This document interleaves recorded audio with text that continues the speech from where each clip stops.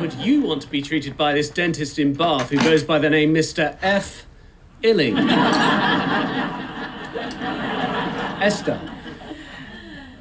Now, an extraordinary story has come to light about a young man who many years ago visited Prague. And what he found there was a terrible situation.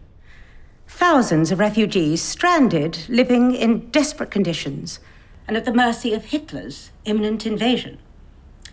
This young man, whose name was Nicholas Winton, decided that something had to be done.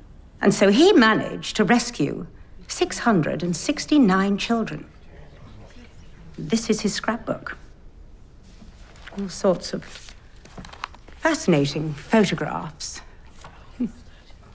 Perhaps you can see. Here's a photograph of Nicholas Winton himself with one of the children he rescued.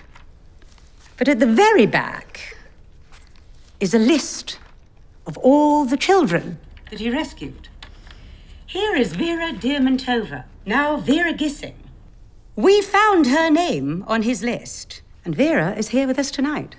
Hello, Vera. Hello. Now, I should tell you that you are, in fact, sitting next to Mr. Nicholas Winton. Hello.